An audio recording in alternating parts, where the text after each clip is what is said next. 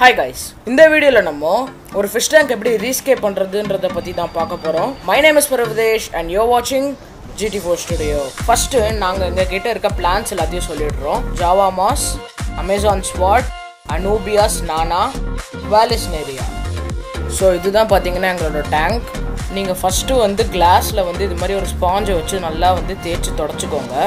அப்போ தான் வந்து அந்த கிளாஸில் ஒட்டிகிட்டு இருக்க ஆல்கே எல்லாம் போகும். இதை பற்றி நான் வந்து ஃபுல்லாக எக்ஸ்பிளைன் பண்ணி ஒரு வீடியோ போட்டிருக்கேன். அக்வாரியம் மெயின்டெனன்ஸ் வீடியோன்ட்டு நீங்கள் இன்னும் அதை போய் செக் பண்ணி பார்க்கலன்னா போய் செக் பண்ணி பாருங்கள் கண்டிப்பாக அது கொஞ்சம் யூஸ்ஃபுல்லாக இருக்கும்.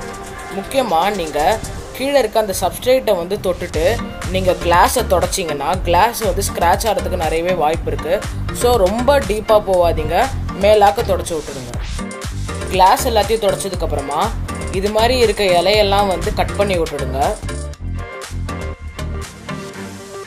கட் பண்ண இலையை வந்து வெளியே எடுத்து போட்டுட்டு நீங்கள் அதை செடிக்கு உரமாக கூட யூஸ் பண்ணிக்கலாம். நீங்கள் ஒரு ஸ்பஞ்ச் ஃபில்டர் வச்சுருந்தீங்கன்னா அதை எப்படி வாஷ் பண்ணுறதுன்றதை பார்க்கலாம். ஃபஸ்ட்டு வந்து அந்த ஸ்பாஞ்ச் ஃபில்டர் எடுத்துட்டு ஒரு பக்கெட்டில் போட்டுக்கோங்க. ஃபிஷ் டேங்க்லேருந்து கொஞ்சோண்டு தண்ணி எடுத்துட்டு அந்த ஸ்பாஞ்ச் இருக்க பக்கெட்டில் அந்த தண்ணியை ஊற்றிக்கோங்க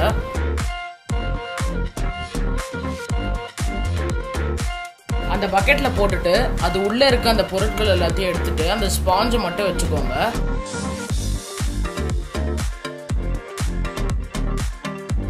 அதுக்கப்புறமா அந்த ஸ்பாஞ்சை வந்து அந்த தண்ணியில் நல்லா பிழியுங்க. அது பிழிய பிழிய நிறைய அழுக்கு வரும். தண்ணி கலரே எப்படி மாறுது பாருங்க. இது மாதிரி ஒரு ரெண்டு மூணு தடவை பண்ணுங்கள்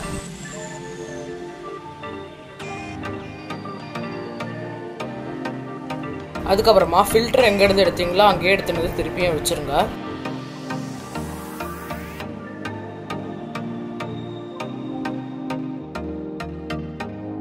அடுத்தது நம்ம டேங்கை வந்து ரீஸ்கேப் பண்ணலாம்.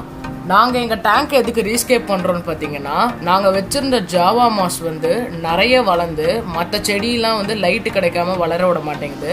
அதனால் வந்து மொத்த செட்டப்பே மாற்றலான் இருக்கோம். அமேசான் ஸ்பாட் எடுத்து டேங்கோட ரைட் சைடில் வச்சுட்டோம். வேலிஸ்னேரியாவை எடுத்து லெஃப்ட் சைடில் வச்சுட்டு மாசையும் வந்து லெஃப்ட் சைடில் வச்சிடலான்னு இருக்கோம். நாங்கள் ஜாவா மாசை பார்த்தீங்கன்னா ஒரு மத்தில் தான் வச்சுருந்தோம்.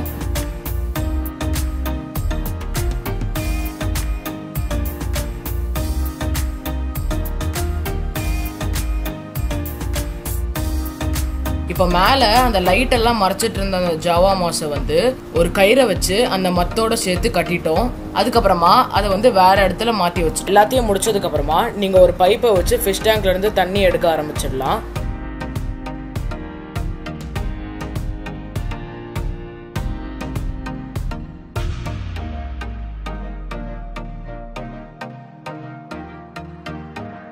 நாங்கள் ஒரு வாரத்துக்கு முன்னாடியே ரெண்டு டுவெண்ட்டி ஃபைவ் லிட்டர் ஸ்கேனில் வந்து சூடான கார்பரேஷன் வாட்டர் பிடிச்சி வச்சுட்டோம். கார்பரேஷன் வாட்டரில் பார்த்தீங்கன்னா குளோரின் இருக்கும்.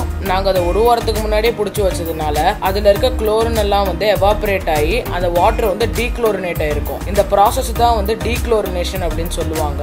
தண்ணியில் வந்து குளோரின் இருந்துச்சுன்னா மீன்கள் எல்லாம் இறக்கிறதுக்கு நிறையவே வாய்ப்பு இருக்குது ஃபிஷ் டேங்க்குள்ளே தண்ணி ஃபில் பண்ணுறதுக்கு நீங்கள் ஒரு சின்ன டியூப் யூஸ் பண்ணலாம். ஒரு எண்டை வந்து கேன் போட்டுக்கோங்க. இன்னொரு எண்டை வந்து உறிஞ்சிட்டு ஃபிஷ் டேங்க்குள்ளே போட்டுட்டிங்கன்னா அதுலேருந்து தண்ணி வந்து ஃபிஷ் டேங்க் வந்து ஃபுல்லாக ஆரம்பிச்சிடும்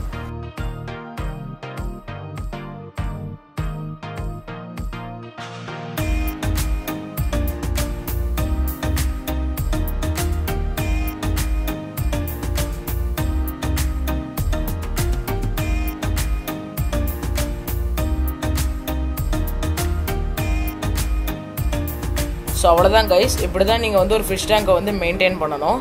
ஸோ இந்த வீடியோ பிடிச்சிருந்ததுன்னா லைக் பண்ணுங்கள் ஷேர் பண்ணுங்கள் மறக்காமல் ஜிடி ஃபோர் ஸ்டுடியோஸ்க்கு சப்ஸ்கிரைப் பண்ணிவிட்டு பக்கத்துலேயே இருக்க அந்த பெல் ஐக்கான் கிளிக் பண்ணிட்டீங்கன்னா நான் போடுற வீடியோ உங்களுக்கு எப்பவுமே நோட்டிஃபிகேஷனாக வந்துடும் ஸோ நான் உங்கள் அடுத்த வீடியோவில் பார்க்குற வரைக்கும் பை